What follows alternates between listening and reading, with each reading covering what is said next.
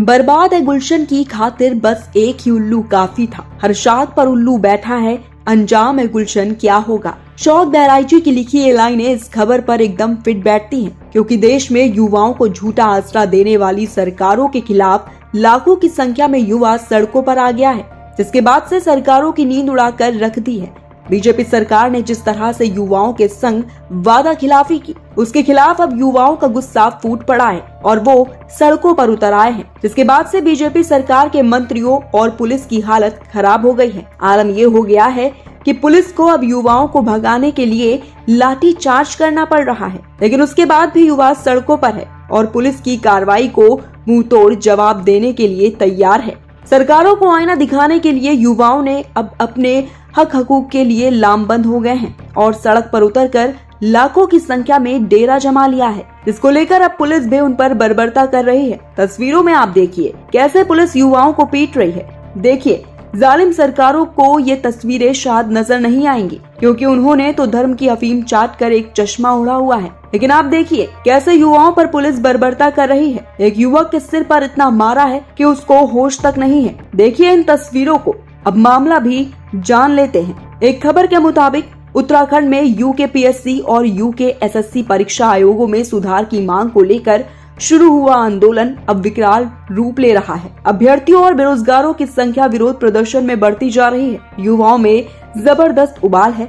उनका ये कहना है कि सरकारी नौकरियों में पेपर धांधली में जब तक सीबीआई जाँच नहीं हो जाती, तब तक वो घर लौटने वाले नहीं हैं। कल रात हुई मारपीट के बाद आज अभ्यर्थी हज़ारों की संख्या में देहरादून की सड़कों पर आ गए हैं और प्रोटेस्ट कर रहे हैं। इससे शहर में चक्का जाम है।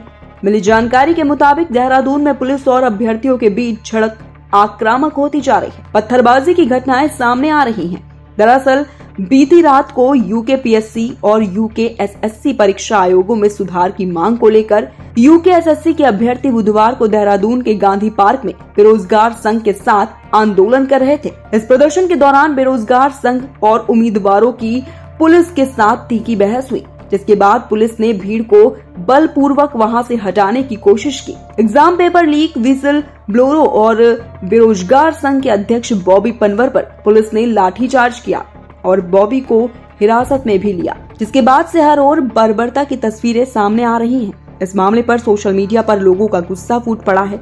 पत्रकार मंजीत नेगी ने ट्वीट करते हुए लिखा है, पहाड़ का पानी और पहाड़ की जवानी, पहाड़ के काम नहीं आती। ये सालों से ये सुनकर हम बड़े हुए, लेकिन आज पहाड़ की जवानी नेताओं के भ्रष्टाचार और कुशासन की भेंट चढ़ रही है। पत्रकार राजेश साहू ने भी ट्वीट करते हुए लिखा है निकम्मी सरकारों की निशानी ही यही है कि वह जिसे देश का भविष्य बताते हैं, उन पर ही लाठियाँ बरसाते हैं। ये सरकार अपने काम पर थोड़ा सा भी ध्यान दे दे, न भर्ती आने में वक्त लगे और न ही उसमें धांधली हो।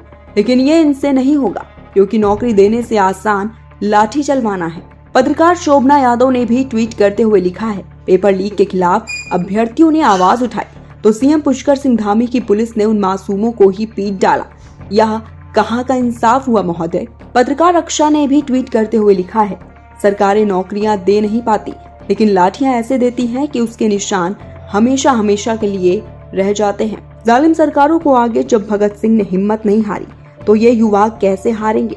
खैर, मामला लगातार बढ़ता जा रहा है। अब आगे क्या होता है, ये देखने वाली बात होगी। इस पर आपका क्या कुछ कहना है, कमेंट्स करके हमें बताएँ और वीडियो को शेयर करना ना भूलें।